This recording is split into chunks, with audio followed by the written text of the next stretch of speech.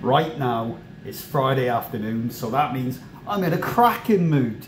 Absolutely brilliant mood. It's me, Karl Welshman, and today I'm going to be doing a little chat about Mourne Mountains Brewery Happy Trails IPA, coming in at a 5.8% volume.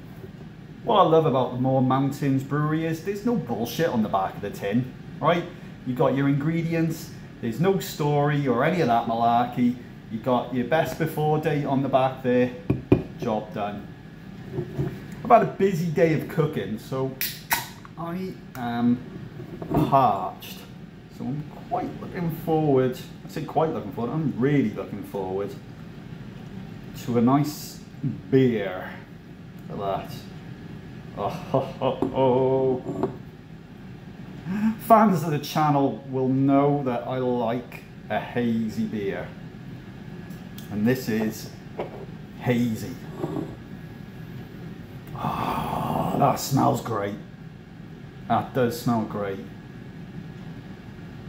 It's really, really fucking juicy smelling. I can smell the juiciness. Look at that.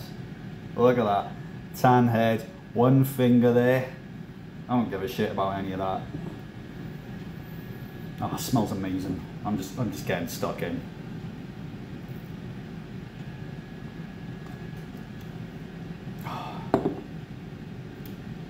That is beautiful. Ugh. That is so good. So, you've got your You've got a little bit of stone fruit in it, but it's just got a nice bitterness to it. It's a really nice bitterness. It ain't, it ain't messing about with sweetness or, I don't know.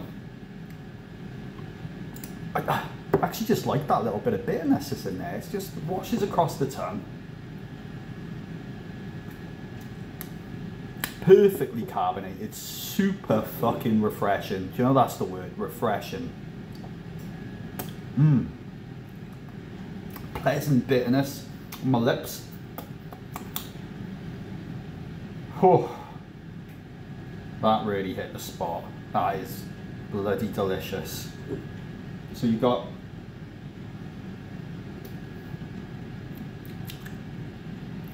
sort of mangoey,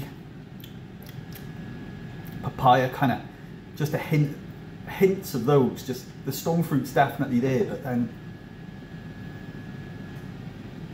like I said, this really nice, pleasant bit of bitterness in there as well.